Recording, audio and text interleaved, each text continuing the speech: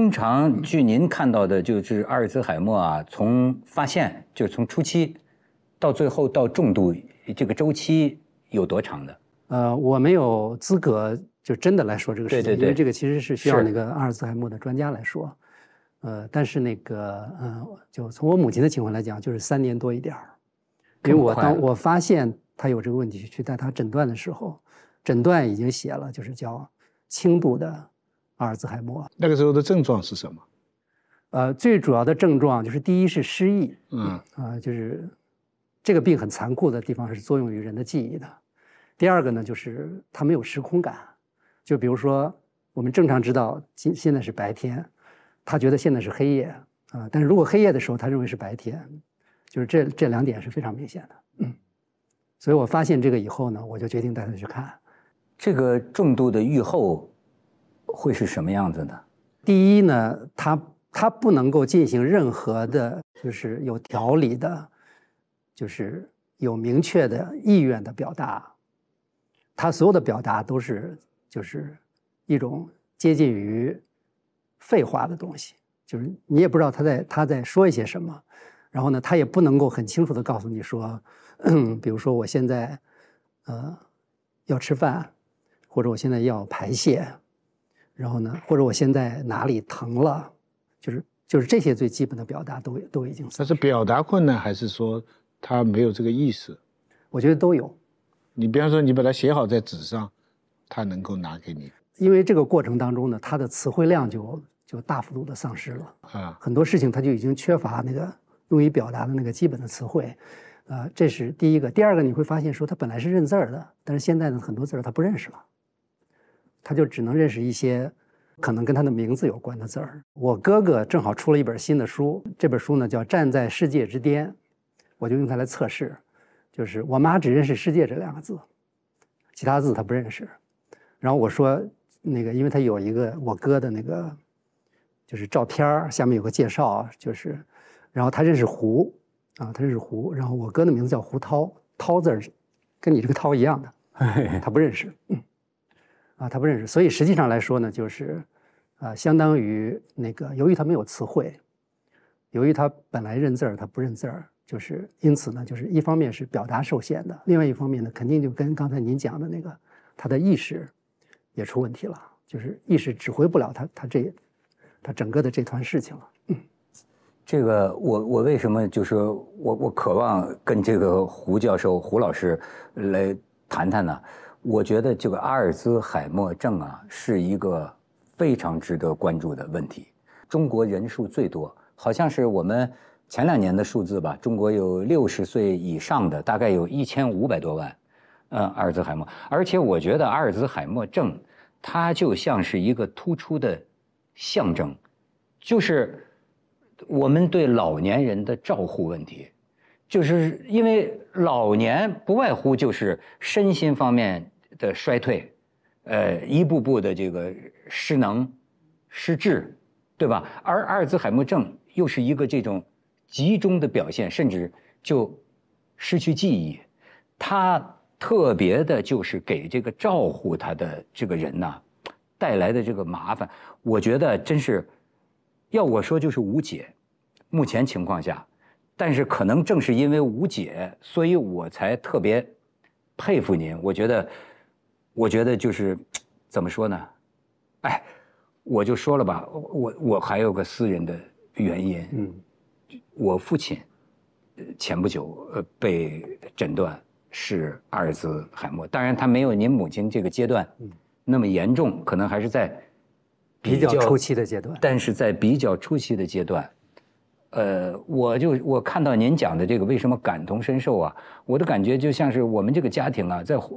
就像在在在洪水里挣扎的一个人，见到了在洪洪水里挣扎的另一个人。我现在见到你，就这么近，你说的所有的事情，我都知道。当然，我们家你这个，你看现在说生孩子多有好处吧？三兄弟，嗯，但是三兄弟呢？这老大、老二，像我，我是老二啊，不能在家。对，在家的就是老三，我弟弟承受的那个压力啊，不可想象。但是这种不可想象，更多的是他开始不知道，他开始不知道。谁开始不知道他？弟弟我弟弟啊，没有诊断之前，他的很多表现你是呃无法预计的。无法预计的，你以为是正常的老人这个呃呃衰老，对吧？我记得就是前几年我还说我我我我我爸爸是琴棋书画，我说你写字写字，你看我我还带来，我说就就我我我我我就说你老年生活你抄经啊，你看你看写天哪，哎写得真好那么好，对吧？对就抄经啊，天天抄经这。是多大年龄时候写的他的？八十多啊，八就前几年啊，呃八十出头的时候，你看就写的，天天抄经，抄几个小时，但是呢，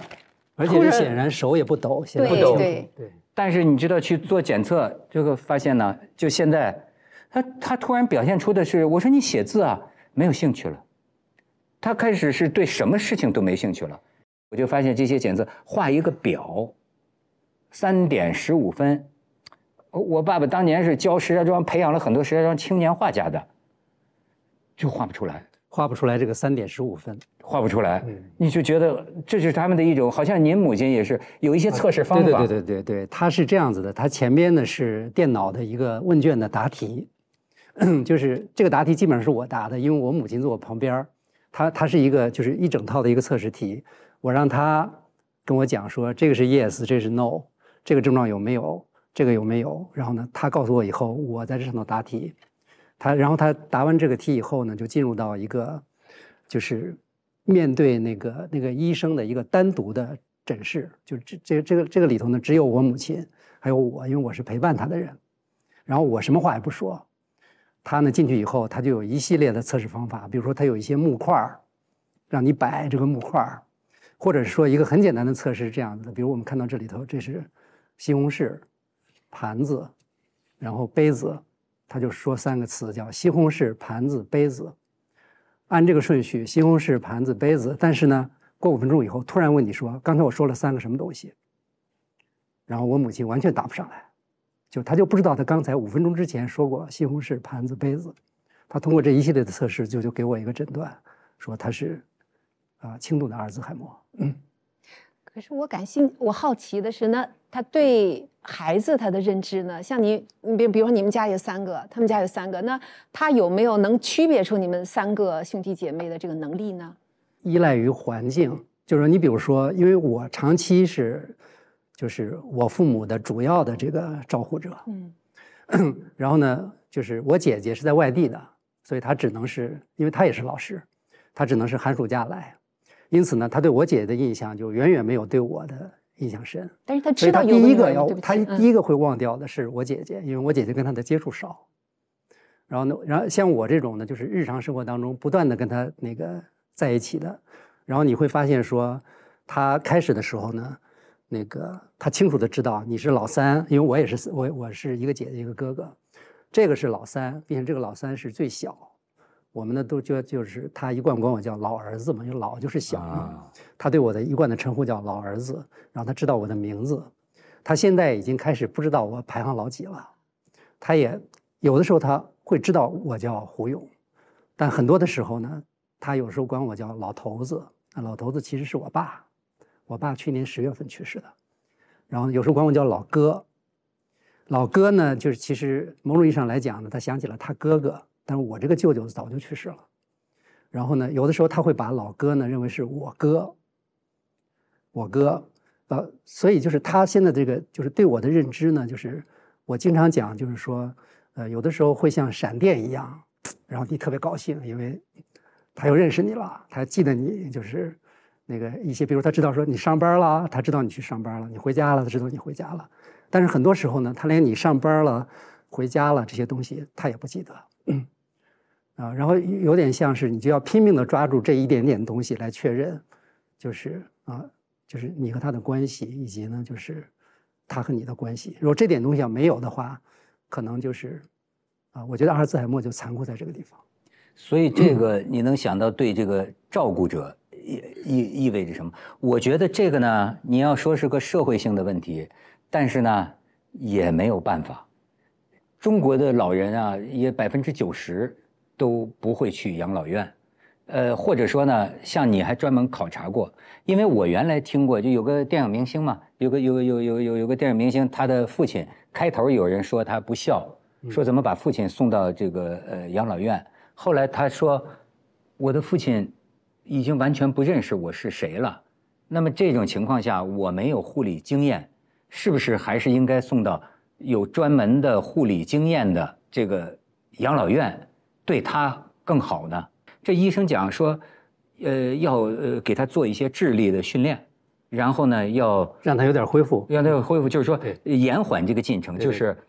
我现在发现，就都是现代职业你做不到的现代职业人，就是说，这医生说啊，实际你要多跟他说话，可能比吃药的作用还大，因为现在也没有什么特效药，没有特效药呃，对，没有，这是个不治之症啊。有的时候，最近听说传来一个消息，说是有一种叫什么单克伦抗体的，但是那个东西反正他他是脑子里边的，具体来说出了什么问题呢？是有东西生长呢，还是说是一种普遍的退化呢？好像它主要是一种萎缩的过程。神经系统退行性疾病，然后呢，呃，病因其实现在没有定论，有些呃就是因为病因没有定论，所以才没有特效药，就至今搞不清楚这个疾病的那个发病机制是什么。哎，对，就有时候说是检验的时候有某种蛋白啊，这个蛋白或者神经元有什么缠绕，对，这是一种说法。但是呢，这千千万万这个老人和他们的家庭，我觉得真的是就是你比如说像我弟弟，呃，我们这个家庭还就算是又孩子多一些，而且这个经济上呢还算比上不足，比下有余吧。那么他得上班啊，白天老人就只能一个人在家，可是实际上照顾他呢，你其实这是一个专业，呃，他不仅是个专业，这个照护这事儿最麻烦的就是你不能给他划分时间的，就是因为他是要求你随时随地，因为他那个情况是永远在随时发生的。所以您就所以你的这个时。间呢，就是就是你不能说我我集中照顾他，比如说三个小时，然后另外三小时我就干别的了，它不是这么个过程，它这它这个它是个碎片化的时间，就是你得有点像是你得随时待命的这种，就是所以这个东西是很让人疲劳的。嗯，您觉得这个，就现在一般人的家庭，如果有这么个老人，你觉得有办法吗？呃，就是呃呃，除非是说有专门的，就是专门照护阿尔兹海默的这种病的那种，比如说护理人员或者护工，或者有些机构呢，他可能就是辟出一个地方呢，就是比如说来管理这个呃失智的老人，因为它这里头有一个逻辑线条，就是呃一般的来说，失智的人到最后的结果就是失能，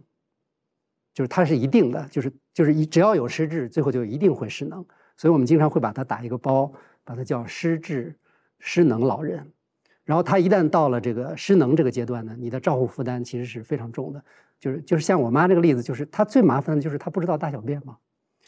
然后然后这个就给你造成无穷的麻烦，因为她永远不知道就是她是要排泄了，她是正在排泄中，还是已经排泄完了，她对这个过程是没概念的。嗯我记得呃看过一个关于阿尔兹海默症的呃一个片子，一个纪录片，就能够说本来的一个大学教授得了阿尔兹海默症，他的太太啊得阿尔兹海默症，就是说经常会见到他站在客厅中央啊，裤子就尿湿了，为什么呢？因为他想着去上厕所，但是走到一半的时候，他忘了他去干什么了，于是就裤子就尿湿了。是每个人都在照护中，因为我这的确是我想说的，因为因为我给我把人分成了四类嘛，就是叫叫做，呃，已经成为照护者的人，正在成为照护者的人，将要成为照护者的人，以及呢，就是一定要被照护的人，就人就我们早晚也会变成呃人就这四类，前面三个都是照护这一方的，哦，照最顾别人的啊。对对对对，就是就是说，所谓的即将、正在、已经，都是指的照护者这一方。后面那一个那一类人呢，是他需要被照护，比如他是阿尔兹海默患者。所以我就特别想说呢，每一个人你在这社会当中呢，可能有不同的身份，但你一定要么是照护者，要么是被照护者。其实你逃脱不了的，很少有人能逃脱这个链条。所以我就想那个把这个题目叫“我每个人都在照护中”。但他们呢就非要打这是这个北大教授什么这些东西，就是其实我在这里头跟他们讲的时候，我说呢，这个跟北大教授毫无关系，就是相当于说我是个普通人，我父母是普通的父母，然后呢，我就在做一个普通人啊做的事情而已。但是我看也有不普通。您要不是这个在大学工作的工作性质不用朝九晚五，如果这是沾摊上一个普通的需要上班的职工家庭，这个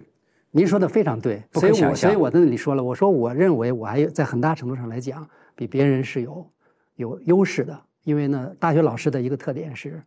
就是他的时间是比较自由的，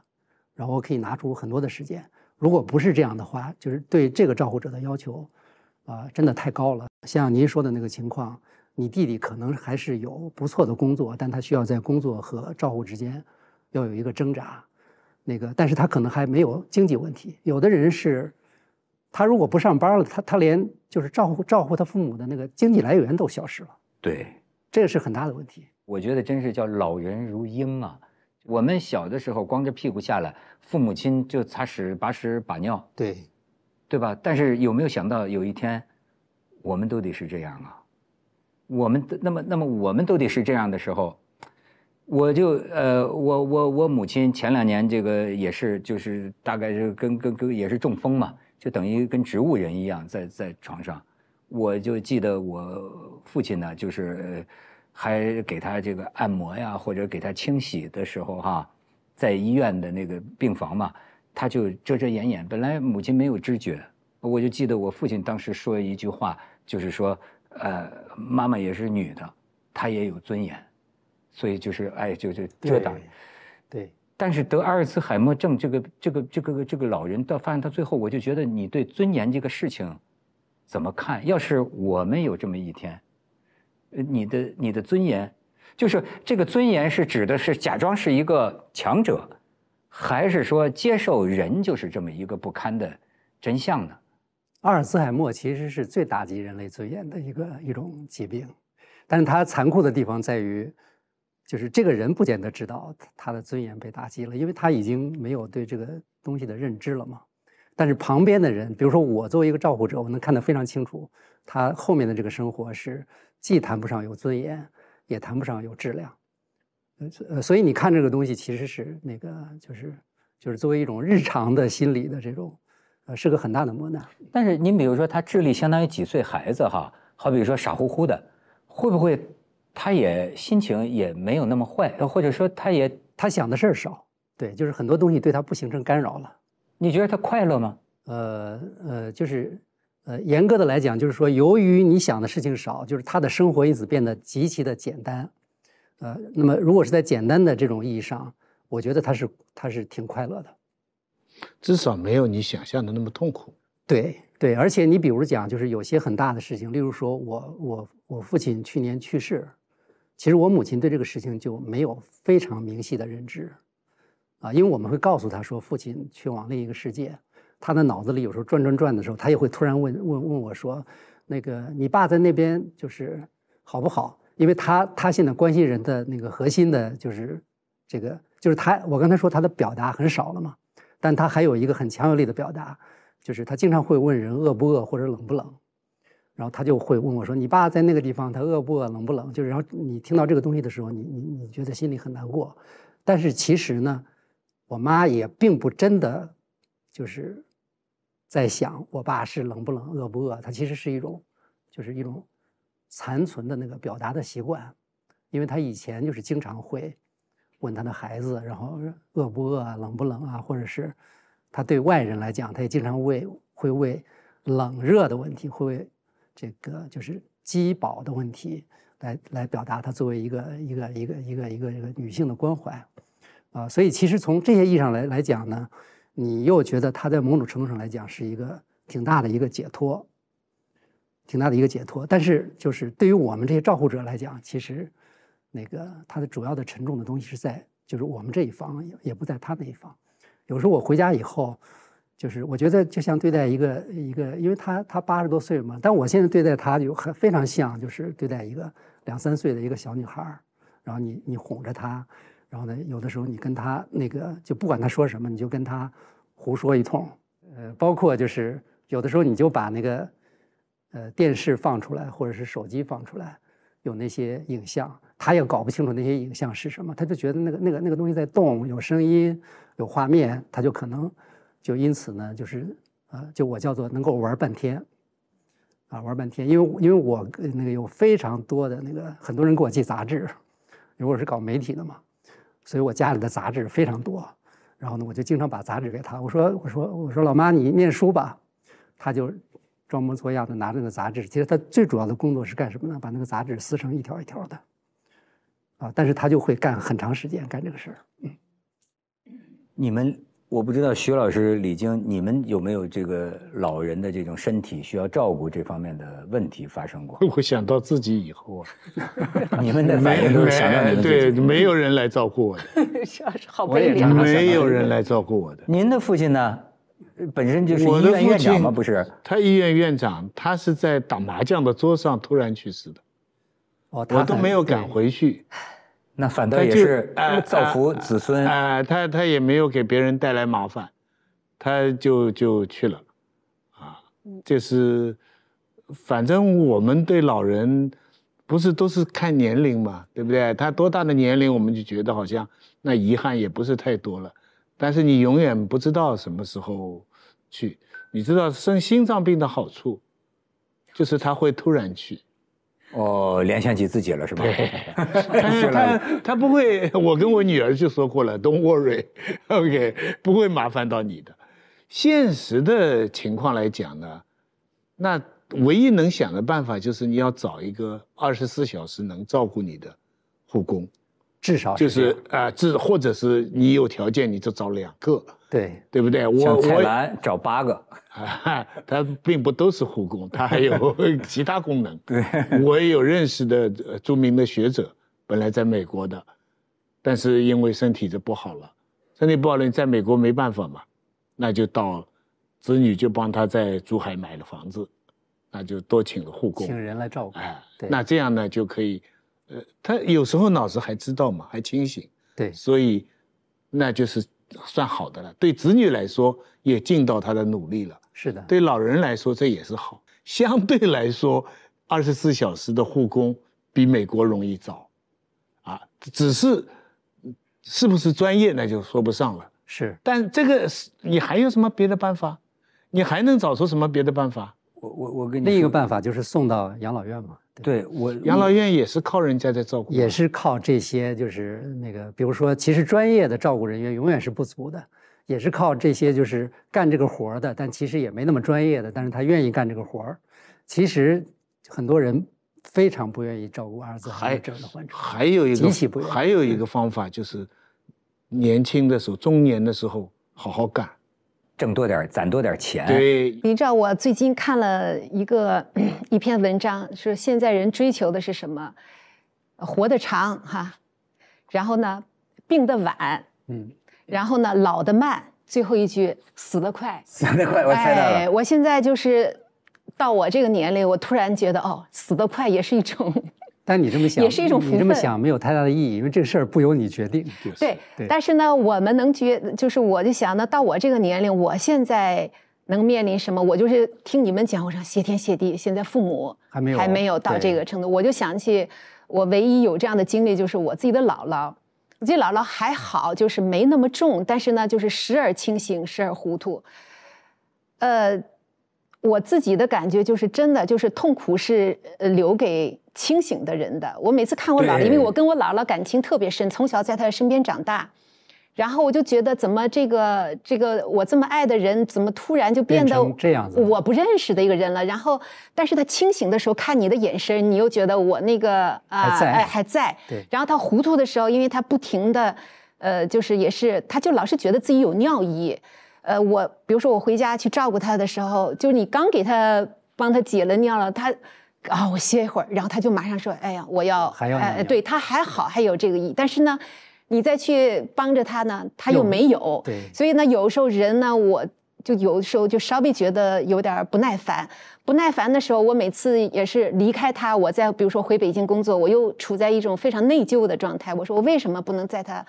对他再耐心一些？然后就永远是这种在这样的 在循环当中。然后呢，有时候我又说服我自己，我说。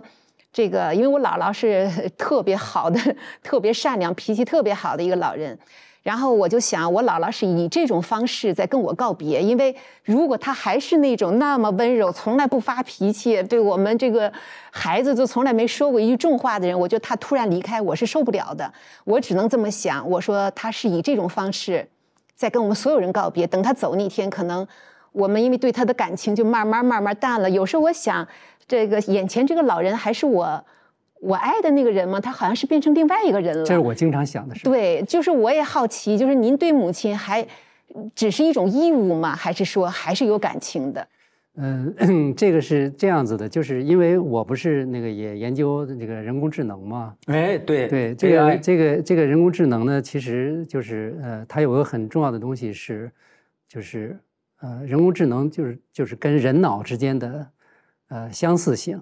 然后我们就会就是讨论一个问题，就是这个在这个在哲学上叫那个自我的同一性，因为因为其实呢，就是你比如说你每天早上起来你照镜子。照镜子说：“我昨天晚上睡觉，今天早上我起来照镜子。我们可以问个问题：说今天照镜子这个你，在多大多大程度上是昨天晚上的这个你？因为它肯定不完全是那个你，因为你的细胞啊什么的都在发生变化，你在老去。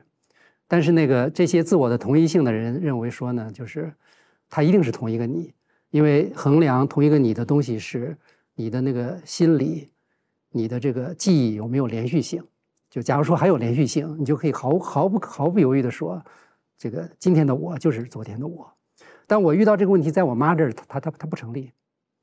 她完全不成立，因为她在任何意义上吧，她把她所有过去的记忆已经消失了，对，她的意识也中断了，她甚至跟我之间的就是这种关系，因为我是她的小儿子，然后她从小最疼爱我，那我痛苦的地方就在于，她现在甚至很多时候她都不认识我了。就更别说去回忆什么，就是母子当年的那些场景啊，然后就是共同在一起的所有的过去的这些岁月啊，对他来讲全都是不存在的。